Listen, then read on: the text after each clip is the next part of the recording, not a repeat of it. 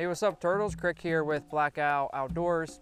And today I'm gonna to be showing you a brand new pack from VanQuest, which is the Falconer 27. Some uh, overall specs of this pack, it's going for $186.99, that's US. This is the wolf gray color option. The bag is constructed out of 1000D Cordura nylon and it is hydration compatible. Let's start by looking at the back of the pack.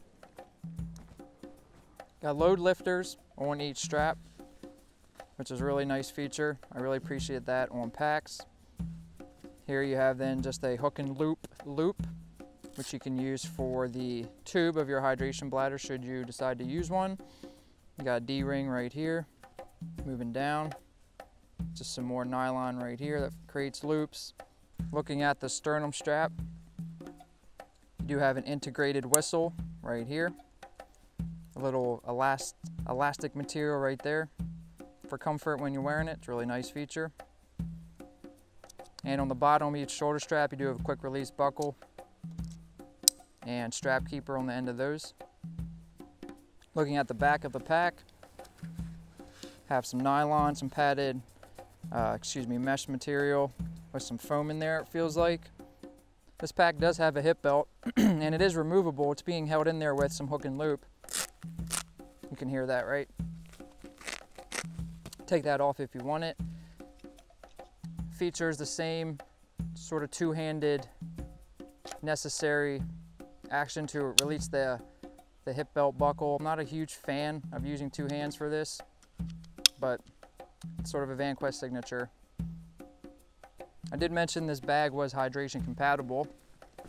So while we're still on the back of the bag, you have the zipper track, which is reversed. These are all YKK zippers on here. And reverse meaning that you can see the track is covered, which is nice to help keep out debris and water. But When I open that up, you can look inside here, and this is where the hydration bladder would be. You do have a hook and loop field inside here on sort of the, the back of the bag, and then throughout this bag, this thinner material that I'm touching right now is, I think they're 210D ripstop nylon. Coming through where I was just showing you, where the hydration bladder goes and the tube will thread through here and you can put it on each shoulder strap, whatever one you prefer. Looking at the side of the pack, they are both the same, so I'm just gonna show you one. You do have a compression strap right here. And you do have some webbing right here if you wanna attach a pouch or anything. I personally prefer bags with water bottle pockets, and if you do as well, you, you can attach a water bottle carry to the side if you want. Like I said, both sides are the exact same. Webbing here, compression strap. At the top of the bag, you have a real cool feature to help secure the zipper pulls, and that's a real, real strong snap on that. It's kind of nice in an urban setting if you're wearing this. Uh, on a bus, public transportation, anything like that, and you have your you know, people on your back. It's kind of cool. All right, let's get into actually the pockets now. So you have one right here that I'm holding, hook and loop field right here, some bungee with a cord lock, single, single zipper pull on that, excuse me. Just have my head, headlamp floating in there, kerchief. Let me show you what this pocket looks like. Got one there. On the opposing side, you have one as well. And then just some elastic material right there in the form of some webbing. And the theme of this pack is it is ridiculously organized in a good way. There are so much you can put in this bag and ways to organize it because this is sort of built as a bug out bag, sort of like that, so it makes sense. Moving down from that pocket, on the outside of this one, you have two zippers here and they just you know, it's a pass through. So you can just use one side if you want. Getting into that pocket, zippers the whole way. On this side of it, you have this sort of ladder.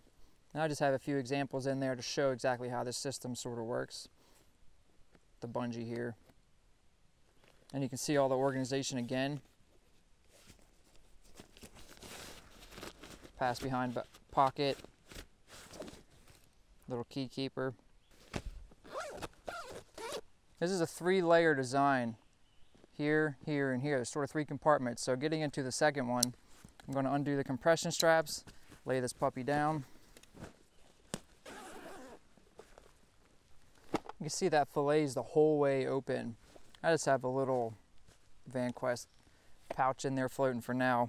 I don't have this bag packed to the max because there's so much you can put in there, but you have one pocket here, it stops at the bottom of this sort of clear clear mesh and there is almost like a there's a plastic lining behind that so it's not just mesh.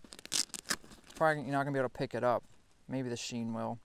But there's plastic behind that which is kind of cool and you have the same type of pocket below it just larger and there I just have walkie floating waterproof one you see some hook and loop here tube it running here you can actually go underneath this pocket as well. You can see my hand disappear. You potentially get something to hold, you know, something with a handle or, or a larger item and sort of tuck it under here if you desire. It's kind of cool. Then you have another pocket here, which uh, Silky's Silky Saw is floating in right now. Hook and loop closure on that. It's pretty cool.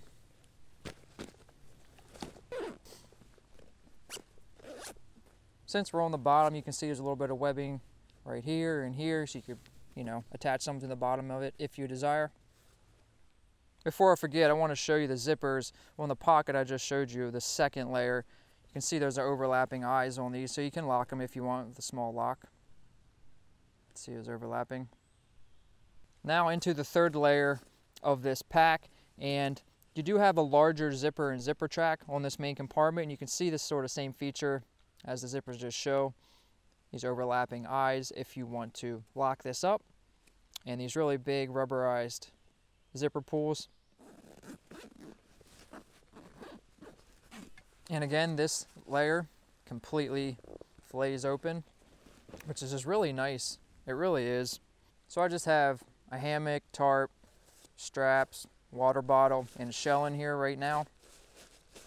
And because this is a three layer design and being built as a 27 liter some of those liters are being taken up with each layer, so you don't have one large main compartment. You can see on the opposing side of this, where my gear was, big hook and loop field in here as well. Open up that flap, pass underneath this, and there's another one on this side as well. Pass underneath this.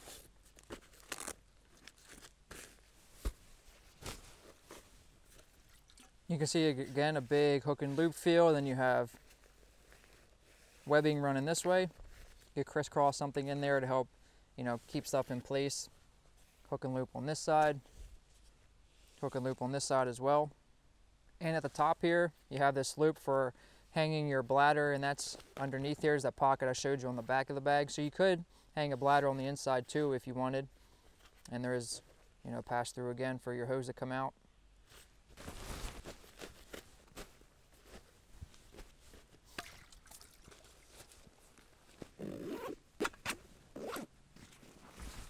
What's nice about these compression straps, they also act as sort of a zipper stop. So if I do want to get in the main compartment, sort of just use it as a dump, sort of a dump style pocket. This will keep the zipper from going down and my contents falling out.